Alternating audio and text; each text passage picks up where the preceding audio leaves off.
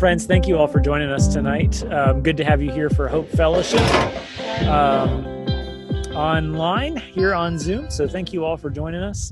Uh, this week, we are talking about our series, Love, Light, and Life, and continuing by talking about God as light. Uh, but before we do, um, just a couple of updates. Uh, I was wondering between, well, first, I, I need to say, last Monday, Christine started um, doing something called Mindful Mondays. Um, we met outside in the parking lot out in front of Sparta United Methodist Church. As I know for those of you that are outside of the area, it's not something you can participate in, and I'm sorry for that. But boy, what a wonderful time that was. Um, that was just the most amazing way to start off the week. Um, so thank you to Christine for offering that for us. She did an amazing job leading us um, through that mindful, that prayerful mindfulness uh, moment. And it's happening again tomorrow at nine o'clock. So if you are in the region and want to join us at nine o'clock, we'll meet in front of Sparta UMC. We might go over to the prayer garden. I don't know. We'll figure that out. But meet in front of Sparta UMC. We'll have someone out there to meet you. And um, it was not super long. It was brief and just a great way to start the week. And Christine, I was wondering if you would, not to put you on the spot here doubly, but how did the supply drive go on Friday? Whoa, it was intense. it was good though. Um, I was thrilled with how many people we were able to help.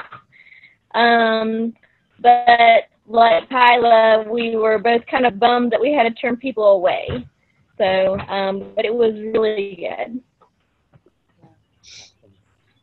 And uh, let's see, we gave away 60, I believe. It was close to 60. Yeah. 60 students worth of supplies, so lots and lots of supplies. Wow. But we are going to continue, um, since we did have to turn some people away, which broke our hearts. We're going to continue this week collecting some items. And I know a lot of people from um, Sparta UMC heard my message this morning asking for generous donations. And if anybody has any donations that they'd like to make or supplies that they'd like to donate, we're going to be giving them out again this week for anybody that still has things that they need or for the group B students that don't actually go back until next Monday. I feel like there's still a great need in the community. Um, based on what we saw on Friday, there's definitely a need. Yeah. So thank you to Kyla and Christine for really reaching out to the community and, and seeing that need and helping folks. Um, and if that's something that you would like to help out with uh, over the upcoming week, um, as we try to get some supplies out to the people that uh, you know we had to turn away, um, reach out to Kyla and or Christine, and they will be able to help you with that. So we we begin with a centering time often here at Hope Fellowship. We try to mix it up, and this week we're going to do a video centering time. Uh, so this is something uh, if it works. Last week my screen sharing didn't work, but I'm going to try to share my screen. Uh, this is about a two and a half minute video. You'll see some uh, rolling scenery with some words and someone reading that prayer. It's a great meditation on God as light, which is what we're talking about tonight. Um, so I would encourage you as we uh, to use this as a time just to focus on God's presence, uh, to put aside the stresses that you have from the week ahead and the week behind, um, you can close your eyes and listen, or you can watch the screen. Um, but we're I'm going to put us um, this on the screen for us.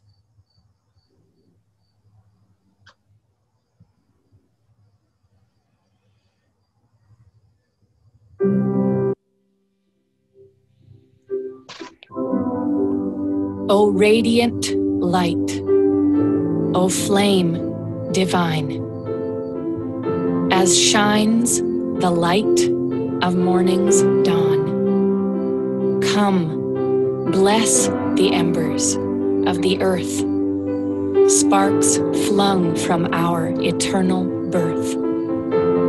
O Word of God, the source of life, you rouse us from the night of fears to open souls and minds and ears and hear the music of the spheres. You are the fire that birthed all things, the force that spins the galaxies. You are the flame within all flames, the hidden power that knows no name. From you, all things that are were sent, and into you does all extend. Peel back the bark of any tree, lift up a stone, they blaze with thee. O happy light, we feel your heat, the starlight shining in our bones. You fill us all with cosmic grace. We host your presence in this place. O risen Christ, you shine in us. O radiant light, O flame divine, O risen Christ, shine in us. The radiance of your holiness, despite the sting of death and strife. We rise to dance.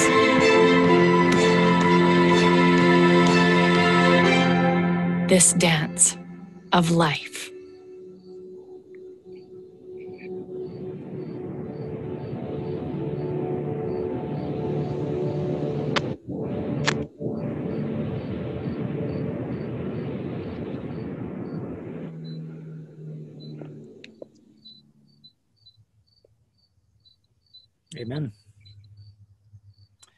So, as we begin tonight, uh, we always take a moment to pause and. and in here. Um, always take a moment to pause and to share the story of what's going on in our lives, the journey that we're all on. Um, it's a time to share the things that we're grateful for and that we're excited about in life, and it's a time to share the struggles as well. Um, they're all valid, they're all a part of our journey. Um, so, that being said, I'm going to put myself on mute and allow anyone that wants to to share.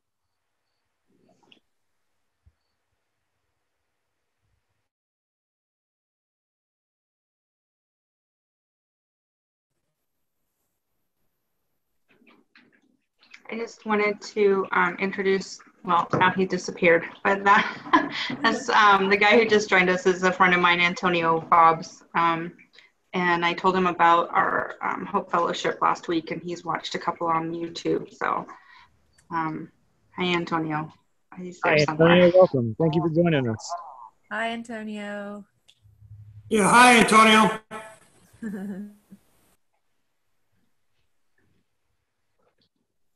Wherever you are. He's in Arizona also.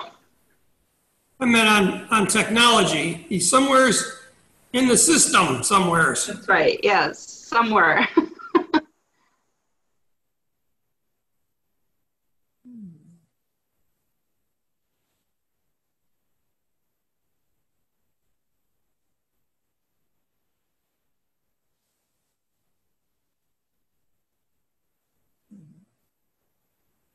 I'll go.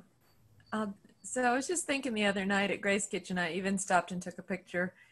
Um, three of our volunteers all working together, um, you know, cutting up corn and making sloppy joes. It just occurred to me that in this small community, we had a business owner on Main Street who is involved every single week, the editor of our local newspaper, and a rising ninth grader who I've known since she was about three years old who just really, really wanted to come and help. All three heads together, working hard, wearing masks, and all from such different, diverse backgrounds, all working to take care of their community. And I thought that was, that just moment really stuck with me. And that was great.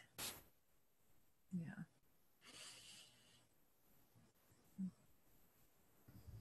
Ren, I had a similar feeling at Grace Kitchen on Wednesday night. I was just thinking about how a lot of churches are struggling right now to figure out how to connect during this time and how to stay faithful to God, faithful to each other. And I was thinking about how have I been able to stay faithful throughout this time? And one of the things I'm very grateful for is our Zoom meetings here on Sunday nights. I couldn't make it without that.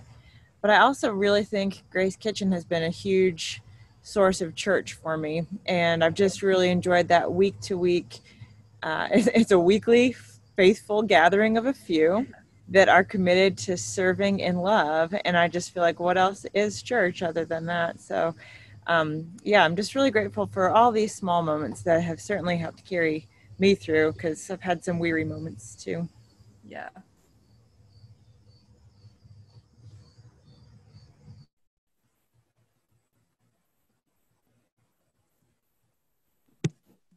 It's his birthday. Happy birthday. These guys were really sweet to me today. Uh, and I'm thankful for them and thankful for you all. Thankful for life. Yeah. I'd be thankful for the pizza. Yeah, and thankful for a good pizza. Ben, got a question. We're a small group, and right off that entrance we used to use to come into the to the room Sunday night, there's this big room before we get to the room we sit in. Is there any chance we could mark it out somehow and social distance properly and wear masks and stuff and have uh, person to person inside the building if we're all night? It's a small group, you know. I'm not going to go through this with you. You know what the deal is. Um, any chance? So make sure. It's, yeah. Um, so that's something I've been actively thinking about a lot, and um, I think one of the main concerns I have with that is we would be requ- we, we if we meet in the room, we still have to use uh, CDC guidelines, which require everyone to wear a mask in the room. Um, and so I want you know we eventually want to move that direction, but we also want to still be able to include the people that are joining us online or that maybe don't want to come in person. And I'm just concerned right now that if we have half of the people wearing masks, we're just not going to be able to understand each other uh, for a for a discussion based church. I just think that's going to be a pretty big hurdle. Um, I am loosely working on an outdoors idea that I would like don't want to talk about now because I'm not ready to. but uh, um, I'm working on something. So that's a great question. Okay, thank you.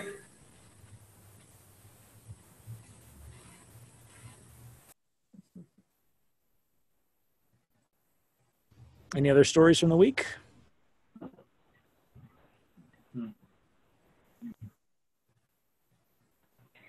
So for me, um, teachers and students have been heavy on my heart for the last week, and um, just you know, if we could all keep them in our thoughts and prayers as they go through the craziness of starting school again under really weird circumstances.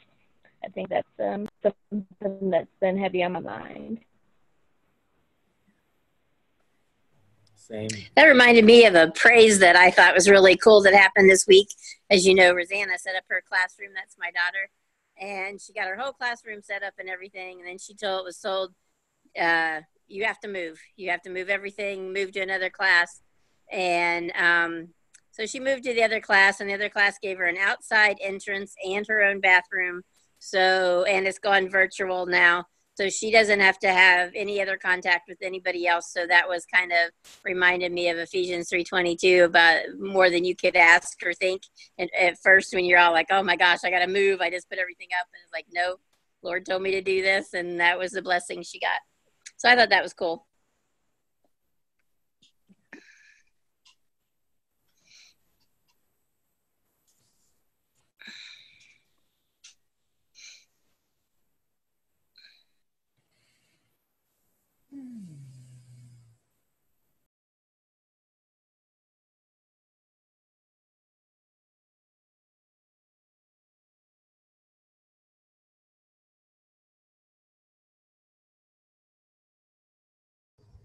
All right. Well, thank you all for those of you that shared. Um, and yeah, at, I think at the end of the night tonight, I really would like to say a special prayer for um, those that are involved in education. I know um, Catherine's school is starting back tomorrow, and the schools here in Alleghany are starting back tomorrow, and everybody probably knows someone that's connected with um, kids or uh, adults that are going back to school in some form or fashion. Um, and there's, of course, a lot of anxiety surrounding that this year more than ever before. So I, I think it's really important for us um, to not just pray for folks that are involved in all levels of that, but I, I would encourage you to, as you go through the week, if a teacher or administrator or parent or student pops into your mind, send them a text message um, or uh, some form of communication that lets them know you're thinking about them, that you remember them, um, that you care about them, that you're praying for them, because um, I think that goes a million miles. Um, so tonight we are considering or con- continuing our conversation that we've been talking about the last couple weeks. Um, this week and next week will be our final ones in it. We are talking about God as love, light, and life. And a lot of this is coming from uh, the book and writings of John and also from Paul as well. And uh, yeah, tonight we are talking about Jesus being revealed to us as the light of the world. The author of the letter John says that Jesus told us that God is light and in him there is no darkness at all. Light is a very interesting metaphor um, that the author of the book of John and several other authors in the Bible use to describe God. Um, scientifically speaking, light is the fastest known thing in the universe. It moves so fast that um, time almost compresses in light, and in some ways, past, present, and future happen all at once. Um, Light is the universal symbol of hope and truth and goodness. Light casts out the darkness and drives away our fear. It doesn't matter how dark it is, the tiniest spark can illuminate a dark space. Light reveals truth. Light is what we refer to when we begin to unravel the mysteries of the universe when we use words like illumination and enlightenment. Light was also there at the beginning when chaos was reshaped into the created world. Light is a beautiful thing, yet we don't ever see it. But because of light, we see everything else. Light doesn't actually change anything, but it reveals what is already there, showing its true colors, revealing the true nature of reality. And because of that, it changes everything. So maybe those were the types of things that the author of John was meditating on and thinking about when he wrote the words that we're about to read together. Um, so we're going to read some selections from the first chapter of John. This is one of those passages that often gets read at a seasonal time. This is associated with Advent or the Christmas season. Um, but it wasn't written for that so i think we can read it outside outside of those seasonal holidays. So i'm going to throw it on the screen here and one of the things that we have often done at hope fellowship is just invited other people to take some turns reading these passages out loud. Um, we don't really sing at hope fellowship but we've often thought before that when we hear multiple voices read these passages it almost sounds like music. Um, so anyone that likes to can start you can read a line or two and then maybe someone else can pick it up.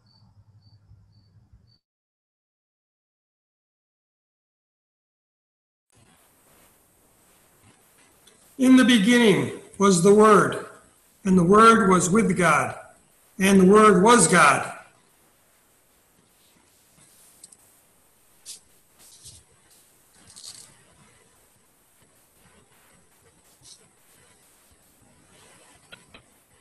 He was with God in the beginning. Through him all things were made. Without him nothing was made that had been made. In him was life, and that life was the light of all mankind. The light shines in the darkness, and the darkness has not overcome it. The true light that gives light to everyone was coming into the world. He was in the world, and though the world was made through him, the world did not recognize him. He came to that which was his own, but his own did not receive him.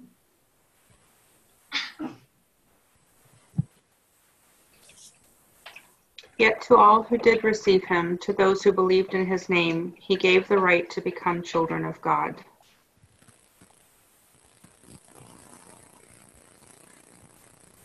Thank you all for reading that. Um, I realized I, I, put a different translation on there than I, I meant to. Um, there's uh, several different variances there. Sometimes, the, you know, the it says the word, um, the word was God, the word was with God. That's that's a, a Greek word translated. It's logos, uh, which sometimes can be translated as a voice. The voice was with God. The voice was God. It can be translated as um, wisdom. There's a lot of a lot of different things there, but it's talking about Jesus. Um, and also, I just want to say, I think a better translation of it would be that light is the light of all humanity. Um, that's kind of what the Greek word is going for there. Um, but yeah, when we started Hope Fellowship, we didn't want to have sermons as kind of the center of our time. We wanted to have conversations and we wanted to have discussions. Um, so this here is a conversation starter, what I'm about to do um, even though I have to really hold myself back because I could easily sermonize a lot of those those passages because there's so much depth to them. Um, I simply want to highlight a few things that I hope launch us into a discussion of God as light. Um, if you don't know, I actually have a coach I talk to um, about once a month. He's not like a baseball coach or anything, but he coaches me in being a pastor. Uh, his name is Mike Slaughter, and he's a great guy. Um, and we were talking about this series and talking about this passage. And he told me something I, I hadn't realized, but he said that this idea of love, light, and life is actually the way the Eastern, many of the Eastern Christians, um, so kind of like Greece over, uh, many of the ways they talk about God. That's kind of how they describe the Trinity. So, whereas the Western Christians tend to say Father, Son, and Holy Spirit, the Eastern Christians tend to say love, light, and life which I thought was pretty incredible. And, you know, maybe if you're a person that's never really been able to connect with the, the Trinity as Father, Son, and Holy Spirit, I think love, light, and life is an equally um, powerful, beautiful, and even biblical way um, to look at that relationship between um, between the Trinity, the divine dance at the center of the universe.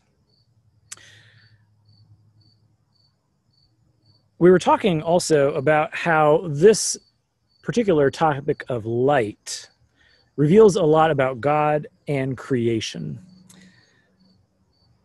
Because of the passage we just read, um, Richard Rohr, who's an author I've been reading a little bit lately, he calls, because of what that passage says, he calls creation the first coming of Jesus or the first incarnation.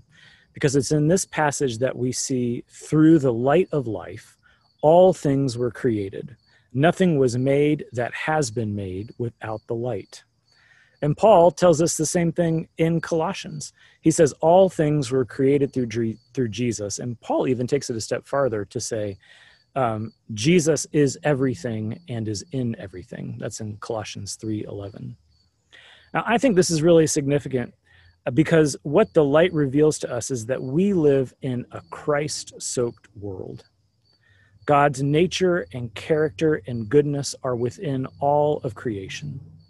And I think that's important to talk about because there's been a somewhat dominant view among Christians in the Western world um, that kind of goes like this kind of the idea that Jesus has saved us from this gross world and is going, it's all going to be destroyed someday, and Jesus is going to take us out of it. So creation doesn't even matter.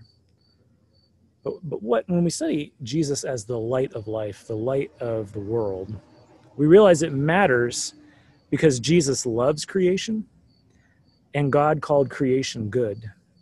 And creation is a part of how God reveals God's self to us. So that doesn't mean that God is creation. It means that God speaks through creation and is revealed through creation. So we care for it. We steward this amazing Christ filled gift that we've been given in creation around us. The other conversation I wanted to get started tonight is this idea that John gives us that the light was coming into the world and the light shined on all people, giving them the right or the ability to be called children of God. That passage we read says, The light shines on all people. I just want to point out one of the things I did this week is pretty much anytime my family wasn't around, because I didn't want to look crazy, I read this passage out loud. So I read it out loud probably like 30 or 35 times. And it's interesting how you hear things differently um, when you read it out loud. Um, and this was one of those things that really jumped out to me. The light shines on all people. I've heard this passage many times. Maybe you have too. Um, so I just wanted to throw that in there as in your own life, you might want to take a passage for a week and read it out loud every time you're not surrounded by people that will think you're crazy if you're just standing around reading things out loud all day. Um, it's a great way to take a familiar passage and see it in a new light. So the light shines on all people, which means no one is excluded from the life giving light of Christ. There is a grace in this that no one has to earn or achieve this light. No one group is privileged to access it faster than the others. No one has to solve a riddle to find it. It's shining brightly for all if light is not something that we see, but allows us to see things, then this shows us the reality of the inclusiveness of God, the way God sees humanity, and perhaps the way we should view humanity as well. I read this week that maybe one of the best teachings of Jesus to understand this part of the passage through is the parable of the lost child, or sometimes called the parable of the prodigal son in that somewhat famous story, Jesus tells about a rebellious child that leaves the father's house and goes to live life on his own in his own way. And after, you know, some good times, he eventually ends up in a rough spot living in a pig pen. And he begins to wonder maybe I could go back to my father's house and at least be a servant in my father's home. And the thing about that story is he never stopped being a child of the Father. He simply didn't recognize it. He didn't feel like he had the rights to that relationship. The light of life in Jesus reveals our true nature as children of God. We may not always recognize it, but Jesus makes it possible for us to live into this true and full identity. Um, the message translation calls it our true selves. And that phrase, children of God, it represents a shift in the world, the way people thought. From interactions with the divine, where it's almost more of a servant master relationship. You see a lot of that when you look at the Old Testament or you look at other of those ancient religions. Um, it's a very hierarchical. God is up here and we're down here, and always trying to please this God figure. Whereas what Jesus is inviting us into is a relational, um, beautiful, and loving uh, relationship. It's a beautiful metaphor. And we always use metaphors when we talk about the divine because there's not one human word that can fully describe or define God. So, I want to open up this conversation tonight by asking you a few questions. And the first one is since we're talking about the light as a metaphor, what do you see in this idea of God as light? What what stands out to you for using light as a metaphor for talking about God? And just remember, you can use the chat or you can speak. Um, there's a lot of different ways you can connect. So, what does the metaphor, the idea of God as light, mean to you?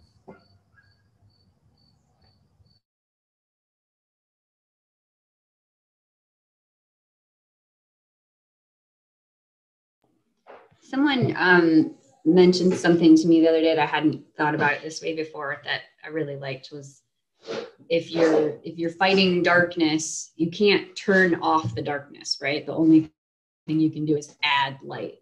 And that that to me, I don't know that that way of thinking about it was really helpful to me when you think about trying to fight injustice or you know that you can't sort of fight that you can't fight darkness with more darkness and you can't really even stop darkness. All you can do is add the light. And then that's what makes the difference. And i feel like that is a great you know an, thinking of god as light. That is the light that you're that you're adding when you add the love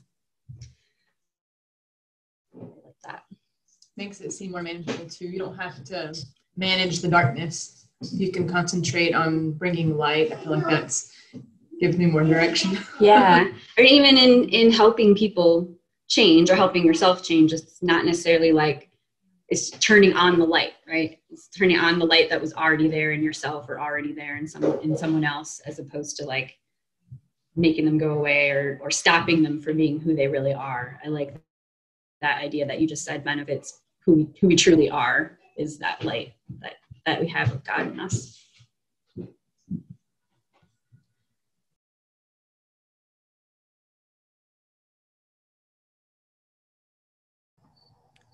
when Ben and I first started talking about um, this whole conversation series and just using the words love, light, and life to have a discussion series on what God is like, it, something about it just made me feel so much more comfortable using those words about God because we don't have to attribute them to like person like qualities. It, it sets us free from the um, limited scope that I think we've put on God, especially in our Western uh, way of Christianity, of doing Christianity, or viewing Christianity. And so many people have used um, human like qualities to put God into their own agenda or to make their God look like them. And when we use words like light and love and life, it sets us free from doing that. It makes um, God much bigger than anything that that humans are on their own. I, I just it's very freeing.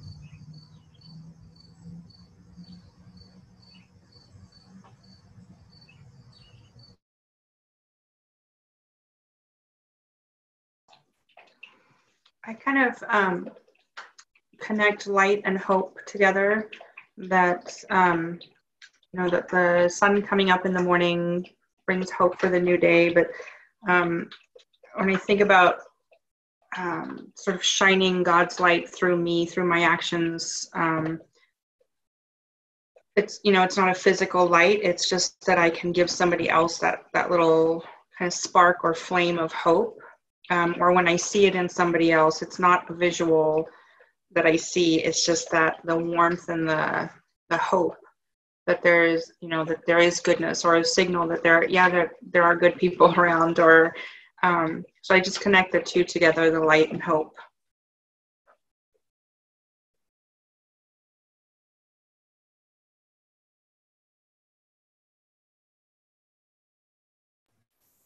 we um we've seen two rainbows on two different days this week after a dark cloudy rain and I feel like that's been really significant, especially this last few days, to be reminded that, you know, God is, He's here and He's with us and He is giving us hope and light every day. And that was just a really tangible way to see that.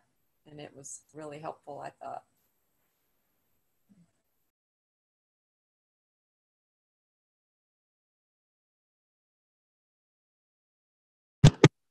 I think I also remember reading that guru, you know, teacher. If you, the translation of that is um, one who leads out of darkness, something like that. So, thinking of guru and props to all of our teachers and just what God is or who God is to us, you know, leads us out of the darkness.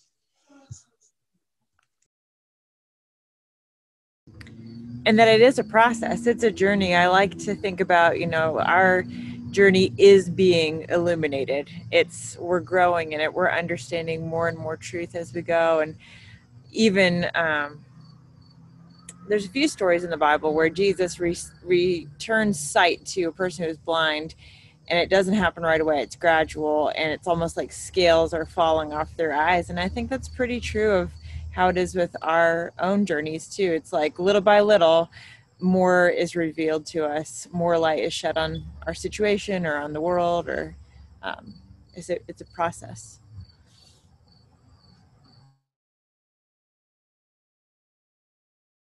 I also like that we can share flashlights. Like sometimes my flashlight dies and somebody else can turn one on and I can go by their light for a little while until I might recharge mine. yes. Like Lauren.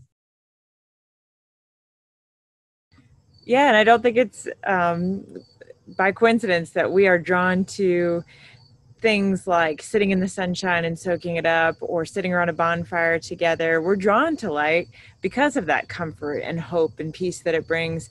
And when i think of all of us shining our little lights together it is like lighting a little fire that brings warmth and comfort and hope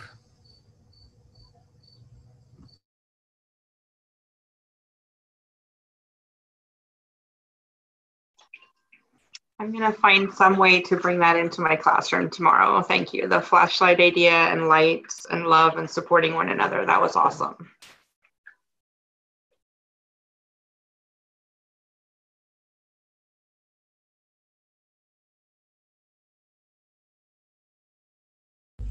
Sometimes at Hope Fellowship, I think to myself, man, I wish these people could all collectively write a book. Some great thoughts. Um, good, good thinking, everyone. Uh, that was, I've like done a lot of research this week on God is Light, and that was some of the best stuff I've heard. Well done. Uh, so, uh, I want to ask a next question about if Jesus is the light, and we talked about how light we can't, you can't like see light, but light helps you see all things. So, if Jesus is the light, how does that change the way that? How could that change the way we view the world? So if we're looking at the world through the light of Jesus, what is different?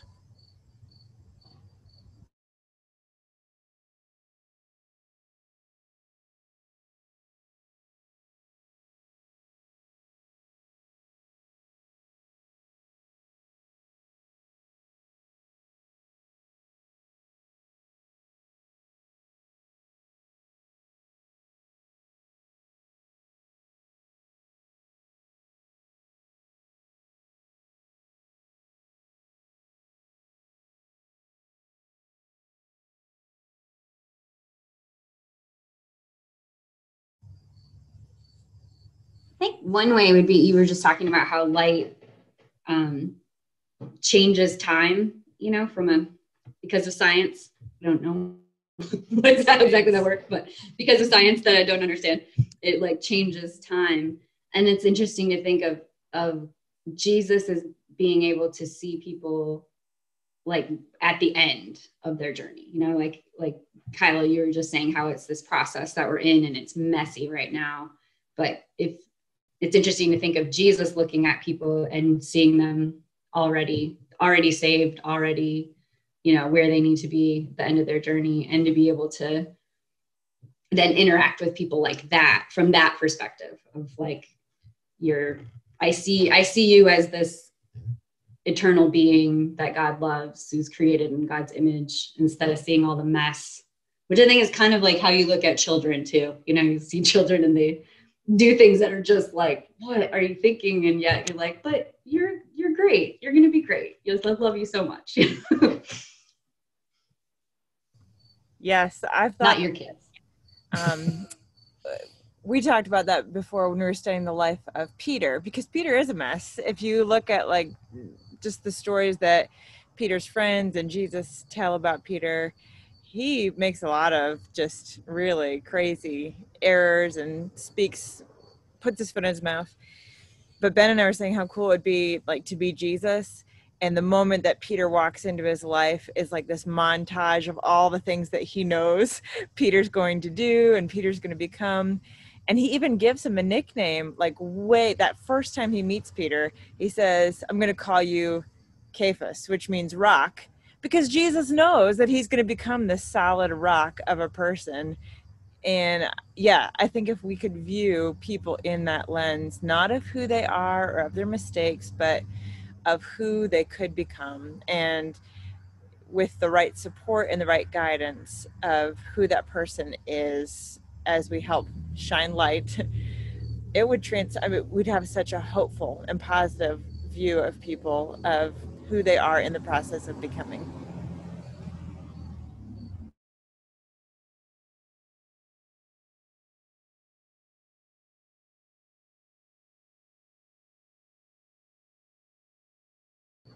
question may have been worded a little awkwardly, but I'm thinking maybe it, maybe saying it just as how can Jesus cause us to look at the world differently, looking at it through the lens of Jesus. Um, one thing I'll throw out as, as, an example that I was kind of hit with this week as I was thinking about the passage. Um, I was talking with my two children, and uh, we were talking about someone that was just causing grief, and uh, the reminder of this passage is God's light is shining on them and are said to all three of us, God loves this person. And it's very important to remember. And may God give that person the same grace that I hope for for myself. And I feel like that can kind of reframe how we how we look at people. Any other thoughts?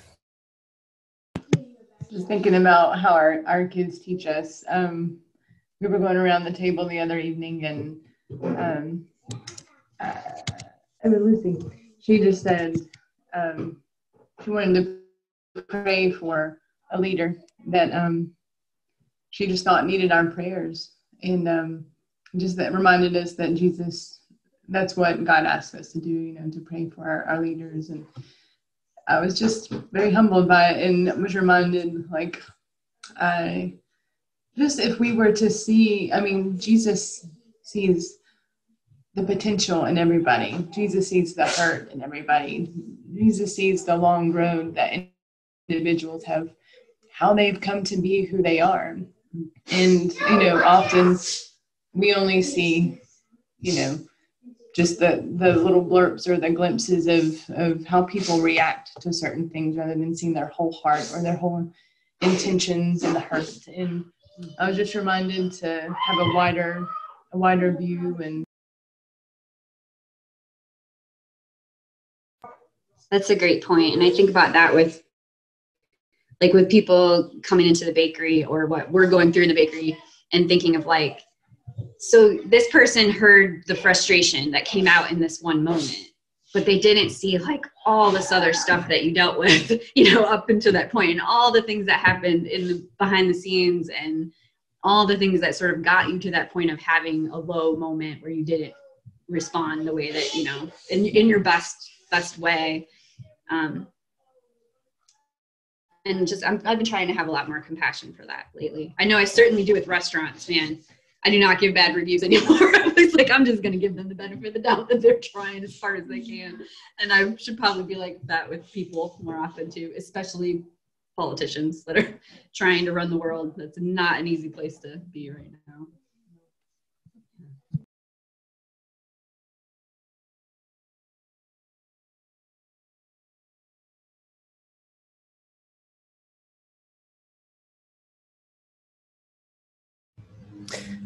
Just looking at our time here, that might be a good lead into our next question. Um, so, what we read tonight comes from John 1, and then a little, later on in John chapter 8, Jesus gets up in front of this whole crowd and he says, he shouts, I am the light of the world.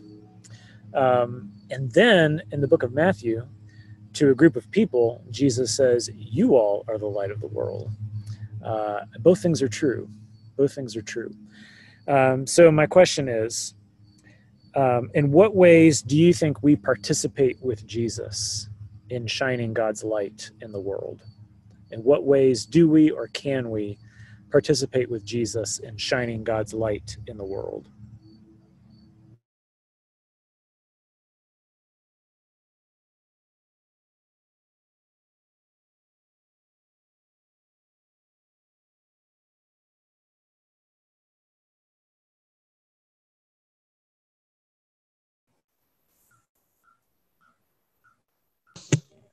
I, feel that God relies on us to be the hands and the feet, you know, that, that God speaks to us in nature and in quiet moments and when we can pause from distractions or stress and worry then we can hear the the quiet voice that reminds us to consider our neighbor or um, to consider, yeah, just people who who may not have someone else to listen to. I feel like that's been something I've I've learned myself just to to be open because um, I can feel so small in my world in my home and during this time just pretty isolated and then we step out and go for a walk and meet neighbors and my world just expands and I feel like that's what God calls us to um, this the small voices yeah, to be hands and feet God. In addition, I think we need to have an aura about us that displays the light of Christ. And you see it all the time in people. You've met people that have that aura and they're nice to be around. They got a smile on their face, a song in their heart, and and and are in, in particular. They don't always say good things. This is not you know Disneyland, but but it, it they have an aura about them that says, I'm, I'm a Christian and I'm trying to do this and uh, appreciate your help type of thing, you know? And then there are other people that have the other kind of aura.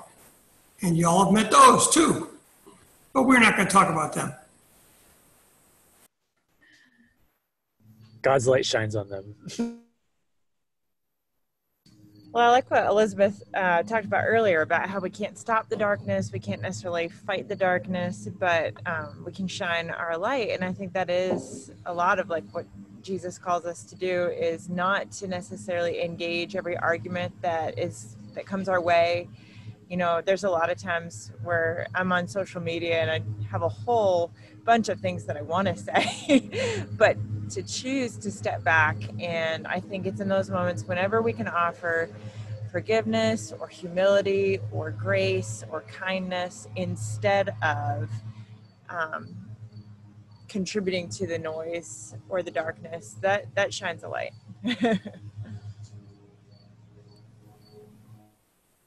yeah because a lot of times it's it's easier as a human being to contribute to the noise and the darkness than it is to contribute to the light. And uh, that's, I'm still working on that. I've been thinking about ways to try to be a light, especially tomorrow, but every day when I'm at school, if we're all wearing masks and you know, you can't, there's no high fives, there's no pats on the backs, there's definitely no hugs for the kids, and they can't see your face. What what ways can you be that light to them that that, flicker of comfort when they come through the back door? Um, so I, I guess maybe some suggestions would be nice kind of just do the heart and put that out there but it's um, i i feel challenged about that tomorrow for tomorrow about all you have left ren is your tone my tone your tone and volume. Yeah. I have that same worry, Ren, that um, I've always greeted my kids at the door either with a handshake or a hug or whatever they needed. And that's the one piece of my day that I don't have planned out, that I don't have a contingency plan. Um, you know, I've got, I'm going to have my little temperature gun and that's the one piece of my day that that's worrying me. The computer, I, I am not tech savvy at all. I could care less if it works or doesn't work tomorrow. I've got, you know, I, it should be fine. I, I'm not checking it today. I, it's just, but that piece, that, um, that connection with those kiddos. And, you know, I know they're excited to come back, but I know they're going to be nervous too. And yeah, some suggestions would be awesome. Yeah just again, wouldn't it be a cool opportunity to teach the kids some sign language if you could, like some basic, yeah. simple, I'm happy to see you, you're welcome here, hope you're having a great day, you know, just some simple That's a good idea that that you guys it could be like your secret code throughout the year like okay i'm gonna give you my sign you're welcome here you know just something like that or stickers stickers go a long way too. Yeah. Good ideas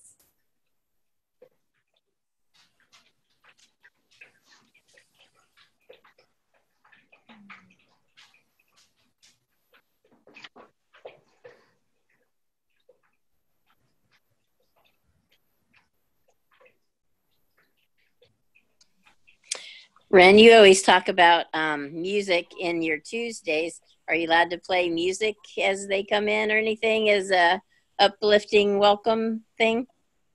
Well, it wouldn't be up to me, but maybe they're planning to do that, and that that would be a nice that would be a nice idea Mm-hmm. to have some happy music playing.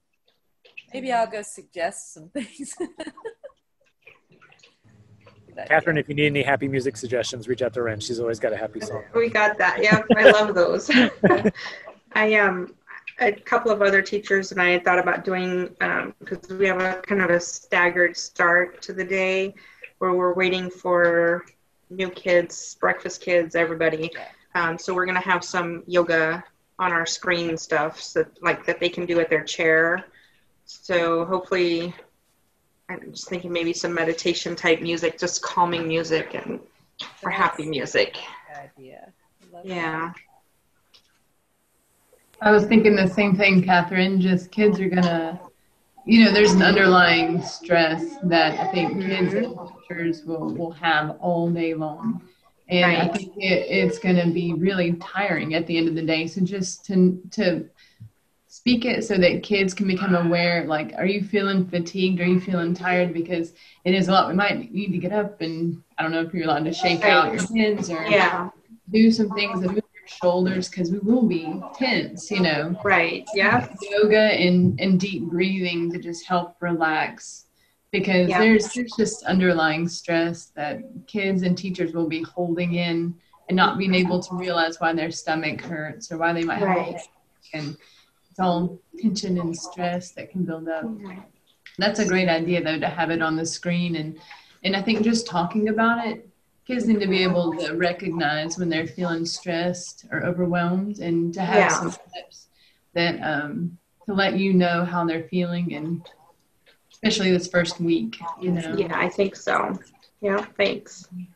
Are there any like um I don't know how you do this with kids because as I was thinking through this, then I realized, well, you might just be giving them weapons, but like where you have a sign that's like a smiley face or a sign that's a sad face, or you know, kind of like emojis, but something where someone could hold it up or like put it on their desk. This is what I'm feeling right now, since you don't have the you know Yeah. facial expression. I was thinking that same thing, EB, and I was thinking about putting like a little uh, canister of Play-Doh at everybody's desks, and as they come in, they could just do like free play. But then there's a designated moment where, okay, you're going to show me how you feel today, and and you could do it too. You could say, today I am all happy, or today I'm struggling. but that way, they could have that opportunity to express themselves, and it's good physical, yeah, movement. Unfortunately, we're not allowed to have Play-Doh this year because you can't wash it. Right. I know it's just oh. You know those um like it, I it wouldn't be work for this week, but at Halloween you can buy like Costco sells those little miniature things of Play-Doh that y- they're like 36 in a, a bag or something. That would be something that everybody could have their own Play-Doh and take. Well, in my case, my kids moved to to three other teachers, so each group could it could take their Play-Doh with them. That's good. They could just take it with Yeah. them every day. I like that. Dumb question. Has anybody tried to Lysol Play-Doh and see what happens? I have not. Description. I have not. I you did just remind me I forgot to buy Lysol yesterday when I was in town. I have other cleaning stuff that the schools provided, but I think Lysol might be stronger. I think all these are good tips for us too. I was just talking to my sister today, and we were just saying how easy it is in all of the change and transitional periods for us to lose self care and our own awareness of how we're doing or how we're feeling. So, if we all need Play Doh, I can get us Play Doh so we can Should make some. I gotta hook up. Make yeah. some tonight. We can share how we're feeling. Yeah. or anything that would be just a different way to express like i don't know if there's even like a bracelet that had different colored beads or something that you could say, I'm in a blue mood, or I'm in a red mood, I'm in a yellow happy mood. Something that would just other ways to express how you're feeling at that. Yeah. And we all, it's a good point, Kyla. I think all of us need to get better at that. And we all right now need to figure out new ways to communicate because it's just so different. Right. And we need to Lysol everything, Gary. I think you could make, you should set up a YouTube channel where you just Lysol stuff and then see what happens. See what happens. watch. Yeah. I have a friend um, whose daughter was upset and having trouble communicating it and said she just didn't feel like using words. So they came up with the phrase, and it is feed the unicorn. So when her daughter doesn't want to communicate or whatever, and she just posted last week actually that she just came up to her in the kitchen and said, Mom, feed the unicorn. So that let her know that she just needed a hug. She was stressed. So maybe a catchphrase is great for parents also. Yeah.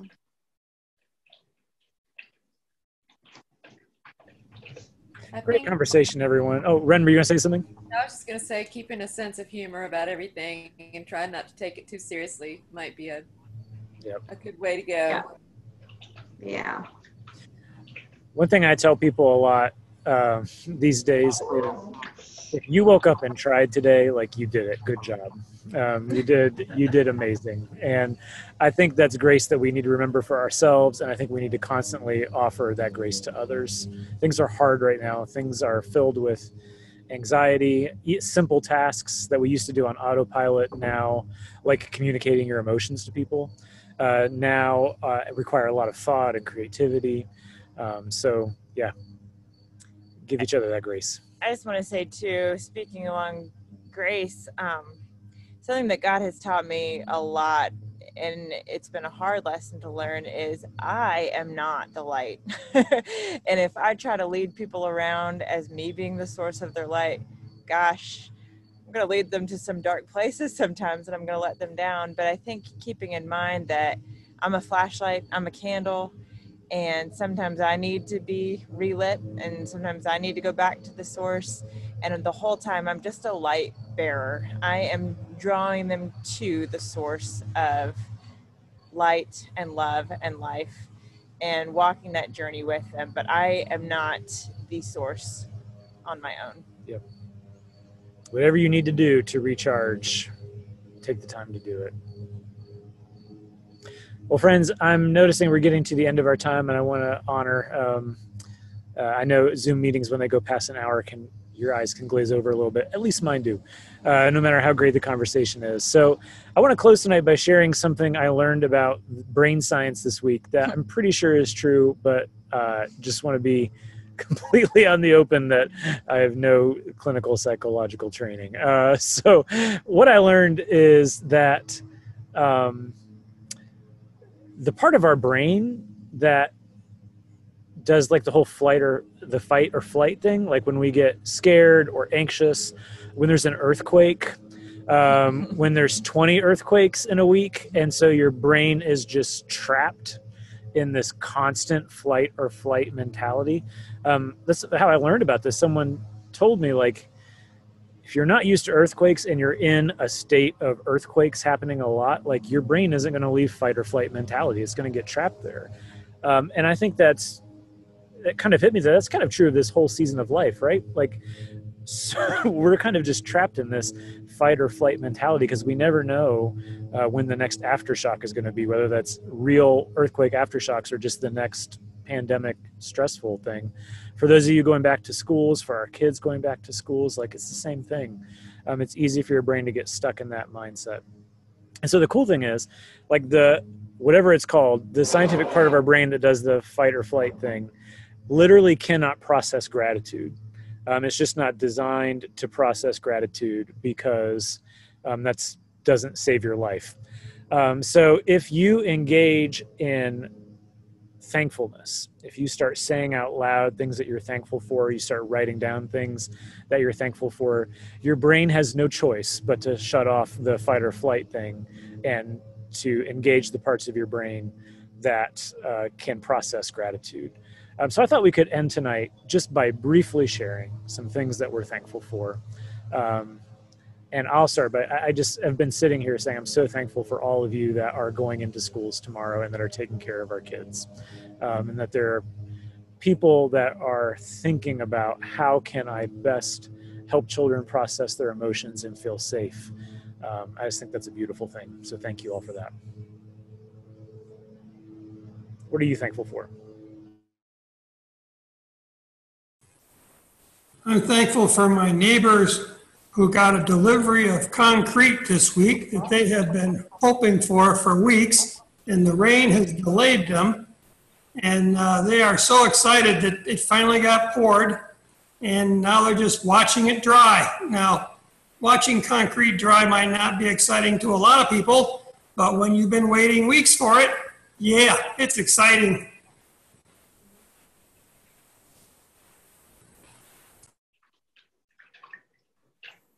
I'm just really thankful for this community and such a peaceful place to call home.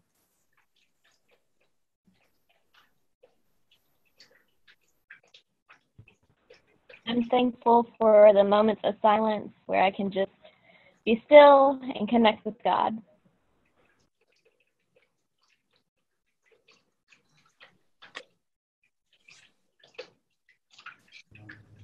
I'm thankful for all those moments that bring us back to just the joy of life, laughter, good food, friends. Anytime you can just feel that joy, even in the midst of struggle or a lot of what ifs.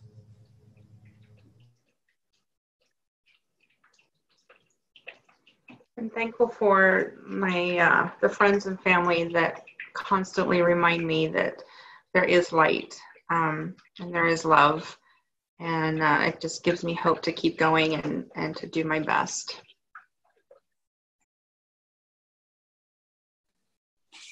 I'm thankful that I can be part of the Hope Fellowship and get this encouragement, and you guys have all accepted me, and I appreciate that.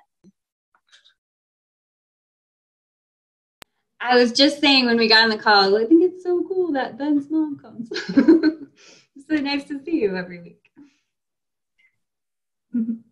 Thank you. I appreciate the new friendships. Thanks for Ben too. We appreciate him. Thanks, Ben. We'll give you credit. yeah, I'm thankful for family and friends and community and neighbors that have shared so much of their garden this week. We are so full of stir fries and all all goodness, but yeah, nature's bounty and a backyard to uh, catch my breath and have God reveal God's self to me there. I've been really grateful for the time I've gotten to have with um with uh, the kids here with um, Noah and Lucy and Cora. We just we've had some fun days together where we've gotten to bond and color and it's just been really nice and that's meant a lot to me. Love them.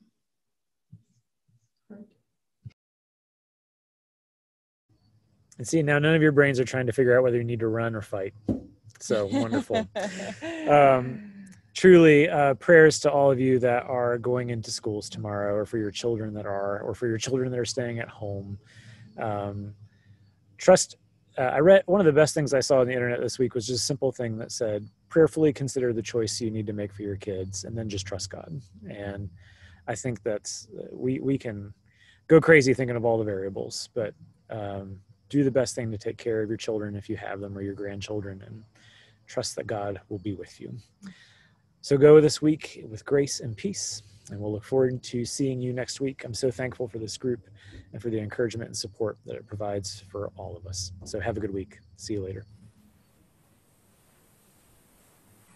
Have a great week. Good luck, everybody. We love you. Thank you. Thanks so much. Great week. Bye bye. Bye.